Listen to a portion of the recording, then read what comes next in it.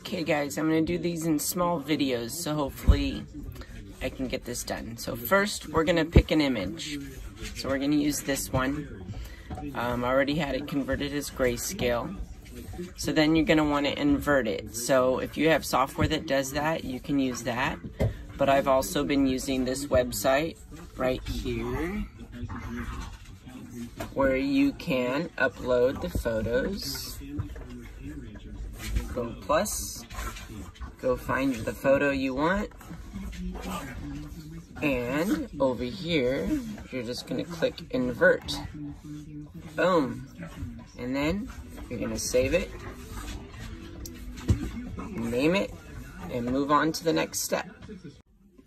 Okay, next, I always suggest uploading the picture on the piece that you're gonna use so that you can get visually an idea of where it's gonna be. So I like to, for example, get an idea of where I'm gonna put the colors of spray paint. So I want to focus, in this case it might be hard to see, but I wanna focus on the smoke, right? So I have the smoke down here, down here in the middle, and the sides. So I'll get an idea of roughly where that is, get the measuring tool there. So the first two inches, and then within the six to seven, eight and nine right there was the most heaviest area that I'm gonna wanna focus my colors on.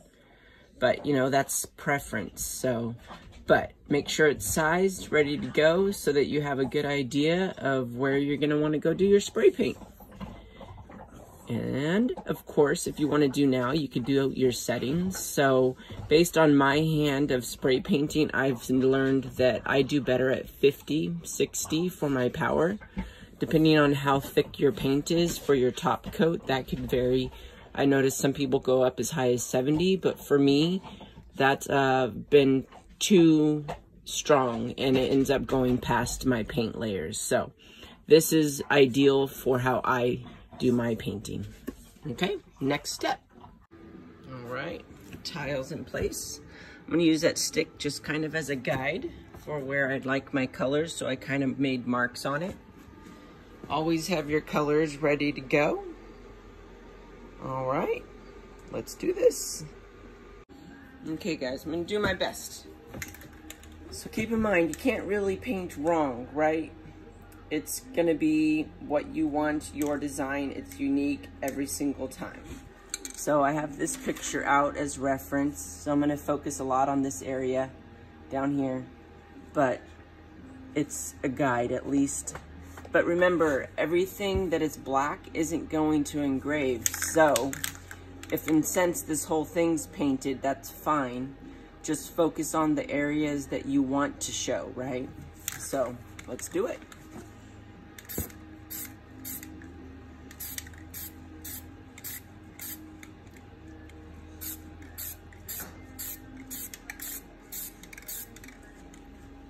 Remember, it's got to dry as well, so you're going to want to do this in phases so that you don't get cracking. So we're going to wait a little bit before the next color. All right, next color. Isolate some purple and then heaviest area.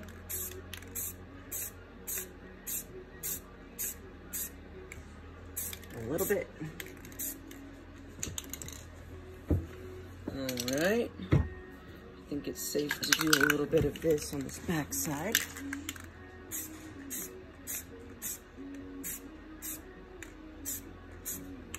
All right, let's let that dry.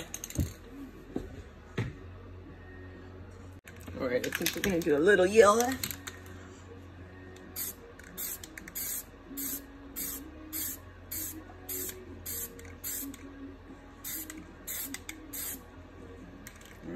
kind of like a rainbow.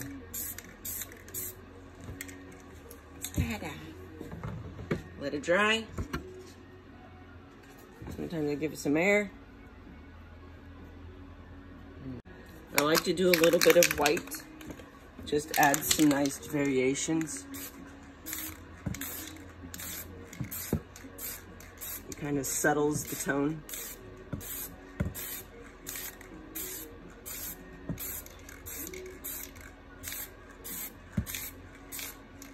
Kind of a smoky look. There's no science to it, guys. I promise. And then let that dry really well and we'll put a top coat of black. All right, we got two layers of black on there. I'm gonna let that dry a little bit. Now, if we were smart and made it simple our first try, we probably would have just picked two colors. I wanted to kind of point that out. Um, for this video, I probably should have just done a couple colors for you guys, but uh, I tend to go a little bit wild and just go with what feels good. So you can do that too, but in this case, like maybe you would have picked red and some white, right? And that would have been awesome too. But on to the next step. Let's go Glowforge. Also a quick reminder I wanted to point out, now that it's black, you don't know where the colors are that are underneath, right? So when you pick it up, remember what colors are where so that when you position it in here, it's not upside down or backwards. I've done that. Still cool, but in this case, I know there's not as much color on this back side as there is on this side. So just a little reminder. Time to go hit the magic button and see cute puppies. Let's do this. Dun dun dun dun dun dun dun dun dun dun. My outside cave.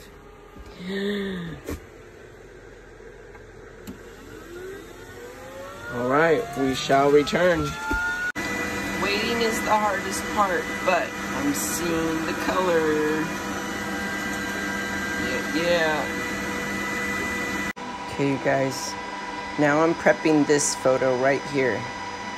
It's gonna be amazing. While I wait for the Glowforge, we're doing a fire and ice theme. So I did blue, red, white in the middle, and just some highlight of chrome over top for the next image.